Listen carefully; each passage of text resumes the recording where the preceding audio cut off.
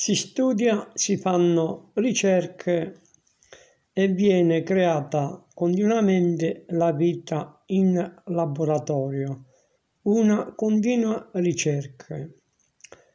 Ogni singola persona è in grado di creare nuove vite, anche con il pensiero. Con il pensiero si può di tutto di più. Basta l'impegno, la passione, ma soprattutto bisogna studiare. Le invenzioni sono infinite. I test si fanno personalmente. Faccio un esempio.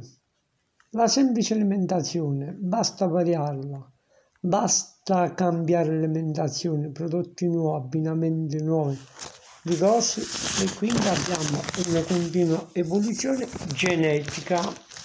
Io lo so per esperienza personale. Ognuno di noi ha un suo metodo. Qual è il metodo? Qual è il metodo? È abbinare gli alimenti. Faccio un esempio molto semplice. Provate a mangiare il topinambo. Il topinambo è una specie di patate. Qualcuno chiama carciofa. Io lo prendo tutti i giorni quasi tutti i giorni, lo faccio bollito, prendo il decotto. Quindi, mh, mm, qual è il futuro? Ognuno di noi ha il suo futuro. Se noi guardiamo la scienza e la tecnologia, i ricercatori e gli studiosi che fanno?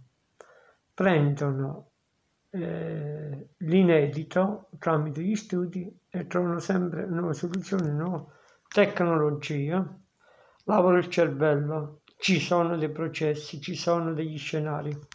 Comunque ritorno sempre all'alimentazione, eh. io sto prendendo nota appunto di tutto quello che mangio. Ad esempio prima l'alloro non lo tenevo in debito conto, eppure un'erba molto digestiva, purifica, aiuta la diuresi. E lo stesso il topinambro, io questo topinambro l'ho seminato al mio orto Strada facendo, io lavoro da Fucine, al Tipiano del Fucino, c'è una strada, una strada diciamo strada, strada, strada 40, poi c'è una strada interpoderale, ha visto dei fiori gialli, però non sapevo che era il topinambo. Alla fine l'ho preso, l'ho seminato al mio orto e ho apprezzato le sue innumerevoli virtù.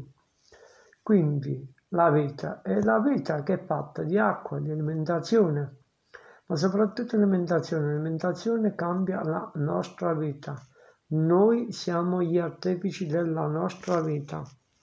Allora adesso io un pezzo di cosa sto leggendo il come si chiama il messaggero il messaggero è un giornale che mi danno e ho l'abitudine di prendere nota ed appunti siccome ho una miriade di pagine, di fogli, di appunti, però molto utile perché mi rilascia, sì che mi rilascia. La televisione la vedo poco, eh, tutti i giorni vado presto a letto, e qua, però la notte mi alzo presto, ecco qua, adesso mi sono alzato un po' tardi, alle 4, poi sto un'ora e mezza, due ore, poi mi metto a letto. Io faccio il bracciante agricolo, per adesso sono disoccupata, ma quest'anno spero di andare in pensione, sono classe 1955. Io quando mi metto a leggere qualsiasi giornale ho una memoria creativa, una memoria evocativa, basta che vedo comincio a prendere appunti e il cervello mi riviene, mi vengono a mente, torna a mente molte cose, soprattutto crea le cose. La memoria è infinita. Noi sappiamo che la vita è strana, ci riserva molte sorprese, ci sono malattie neurodegenerative. All'improvviso arriva una malattia, quando arriva una malattia cambia totalmente la vita, cambia totalmente la vita.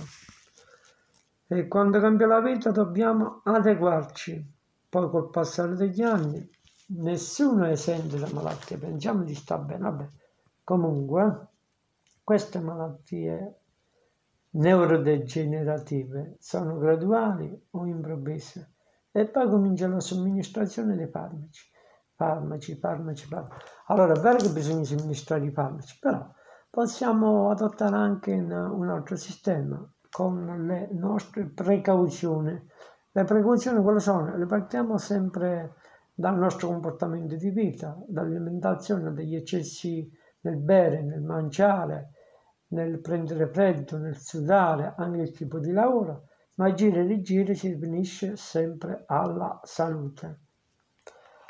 Vabbè, senti, io mi fermo qua perché qua c'è una montagna di cose da leggere, studiare, a prendere appunti. Adesso devo leggere qua il messaggero, poi il sole 24 ore, poi ho parecchi libri di...